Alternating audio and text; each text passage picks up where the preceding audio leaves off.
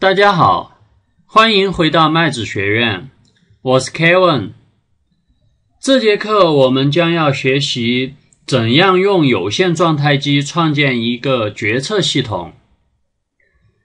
游戏中的决策系统的任务是对游戏世界中收集到的信息进行处理，确定 AI 角色下一步将要执行的行为。决策系统可以用有限状态机或行为树两种方式来构建。我们先来看看用有限状态机如何构建一个看上去不错的决策系统。有限状态机的概念我们在第一节课就讲过了，这里就给大家讲讲有限状态机的几个特点。有限状态机是 AI 对象中最简单。同时，也是最有效、最常用的方法。游戏中的每个对象都可以在生命周期内区分出一些状态，例如攻击、巡逻、休息、死亡等等一系列的状态。当某些条件发生时，状态机从当前状态转换为其他状态，游戏对象会对各种状态做出不同的反应。在设计有限状态机的时候，一定要认真的考虑其中的每一个状态和转换条件。一个有限状态机必须有一个初始状态，还需要保存当前状态，另外还需要一些事件作为触发状态转换的触发器。这些事件可以来自输入关卡中的触发点、消息。或者某些条件。这节课我们就先来看看用 switch case 语句如何实现一个简单的有限状态机。首先，我们给 AI 对象设定四种状态，分别是巡逻、追击、攻击、死亡这四种状态。现在，我们就去 Unity 里面。实现这四种状态转换的有限状态机。先打开我们的 Unity 项目，在 Script 文件夹下面再创建一个有限状态机的文件夹。我们先来创建一个有限状态机的机类，将它的一些通用的参数及方法定义出来。我们还是在这里创建一个 C# 文件。然后就叫 FSM，打开这个文件，我们先来看看需要写哪些参数。第一个参数用来获取玩家的组件，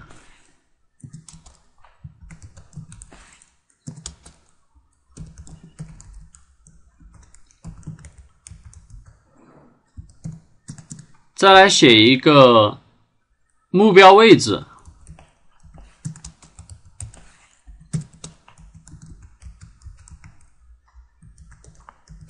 这个目标位置可以是玩家的位置，也可以是巡逻点的位置。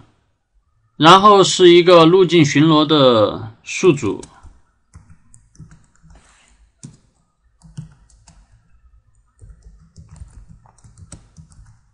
这里主要用来存放路径巡逻点。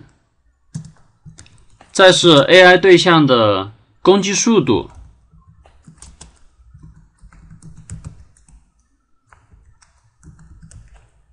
这个攻击速度可以认为是 AI 对象的攻击间隔时间。再记录一下 AI 对象上一次攻击的时间。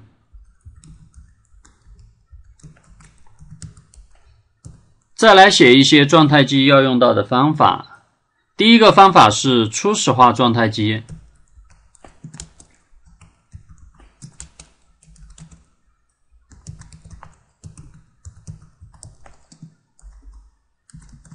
然后是每一帧更新状态机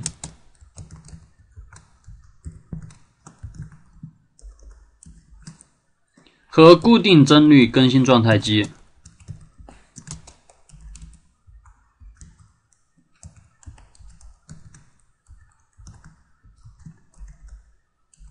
这些方法我们都会在状态机的子类下面去具体实现，这里只需要声明就好了。然后在 start 里面调用初始化状态机，在 update 中调用每一帧更新状态机，再写一个 fix update，用来执行固定帧率调用状态机。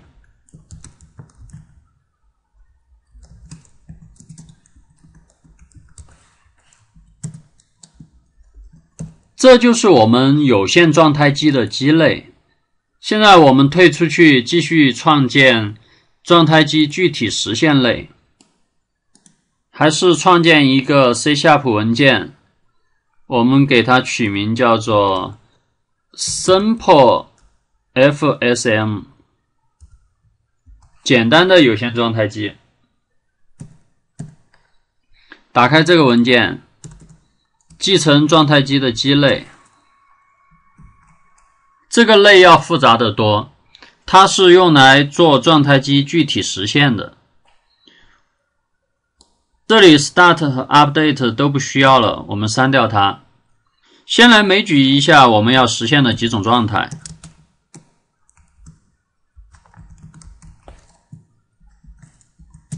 刚才我们就说过，有巡逻状态。追逐状态、攻击状态和死亡状态，这就是我们这个有限状态机需要实现的四种状态。定义了状态之后，我们来写一些状态机要用到的参数。先写一个追逐距离。当 AI 对象和玩家之间的距离小于这个值时，切换到追逐状态。然后攻击距离也一样的，当 AI 对象与玩家的距离小于攻击距离的时候，就切换到攻击状态。这个值我们切小一点，不然看上去会很奇怪。AI 对象。还离玩家很远，就在播放攻击动画。因为有寻路，我们还是需要设定一个抵达距离，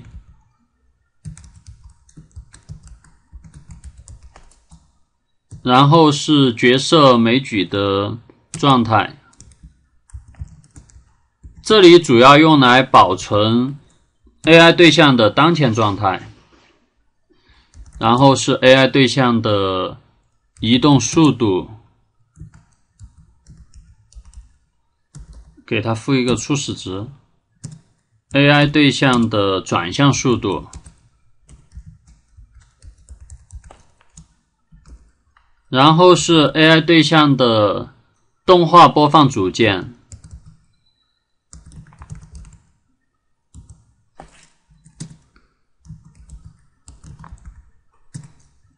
AI 对象的角色控制器组件，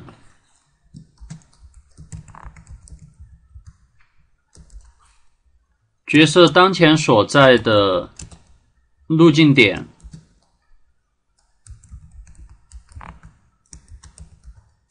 以及角色是否还存活。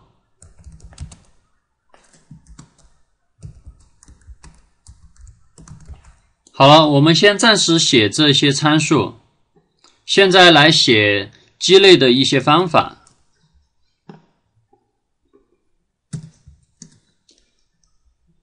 先来实现鸡类的初始状态机的方法。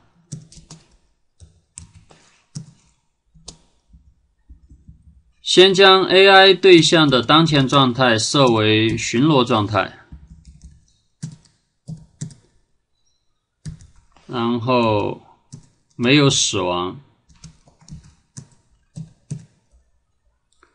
上一次攻击的时间为零，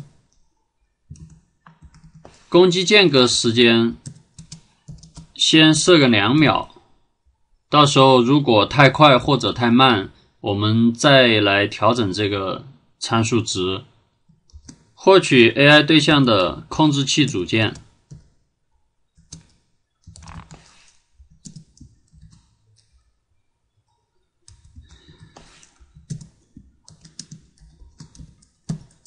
获取 AI 对象的动画播放器组件，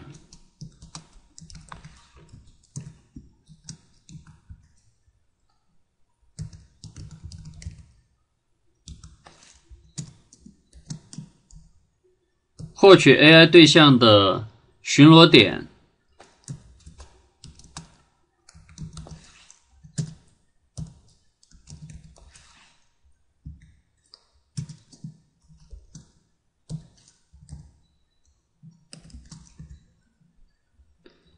这里我们等一下去加一个标签，就叫巡逻的一个标签。我们先去 Unity 把这个标签加了，避免一会儿忘记。在这里加一个巡逻的一个标签。好了，返回到代码中去。获取了 AI 对象的巡逻点，再来获取一下玩家对象。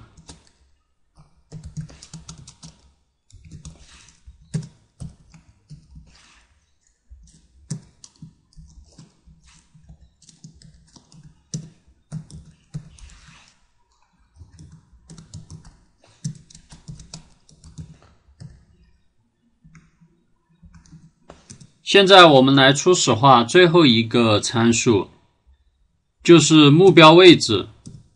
在游戏运行刚开始的时候，我们让 AI 对象进行巡逻，那么它的目标位置应该是路径点，所以我们这里要去获取一个路径点。我们来写一个方法来获取它。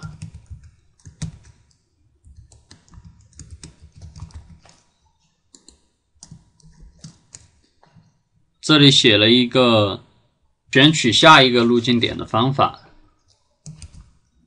这里我们随机获取，随机获取路径点，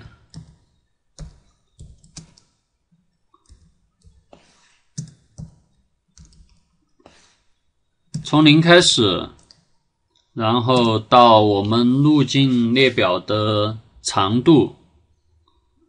将取到的路径点赋值给目标位置。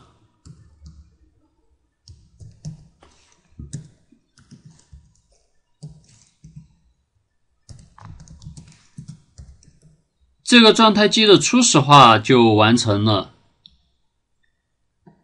接下来，我们来写状态机当中最重要的这一部分：状态机中每种状态的具体实现。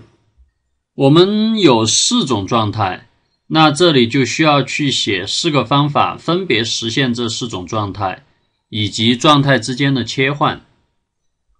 先来写巡逻状态，因为我们一进游戏，AI 对象就是处于巡逻状态。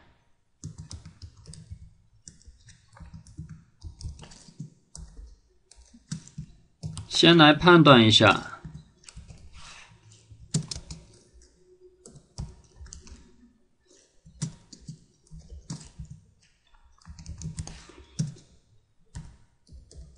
如果 AI 对象当前的位置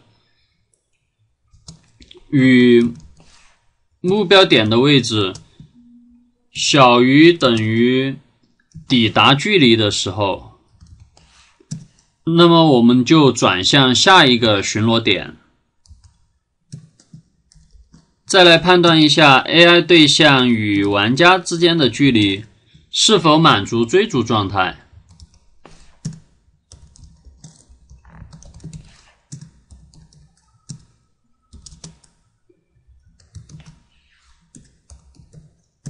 如果 AI 对象现在的距离与玩家之间的距离小于等于追逐距离的时候，我们就将当前状态转换到追逐状态。这里就根据条件实现了一种状态转换。现在我们来具体写一下巡逻状态需要的算法。先根据目标位置控制 AI 对象转向。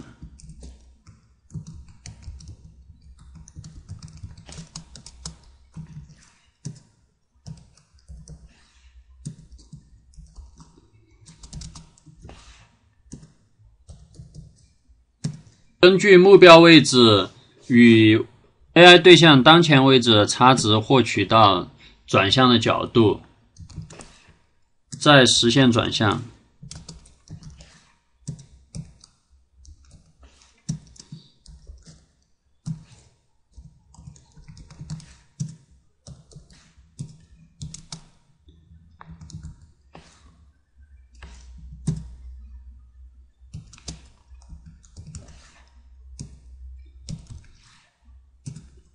用每一帧的时间乘以转向的速度，就控制了 AI 对象朝目标点转向。然后只需要控制 AI 对象向前移动就行了。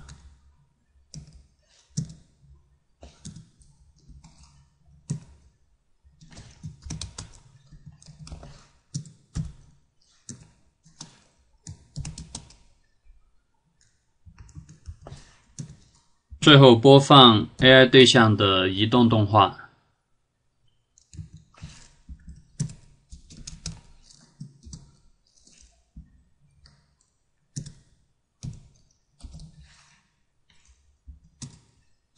这样，我们巡逻状态就写完了。这节课就先讲这些内容，下节课我们再实现剩下的几种状态。大家下来先写一下这节课的代码，我们下节课再见。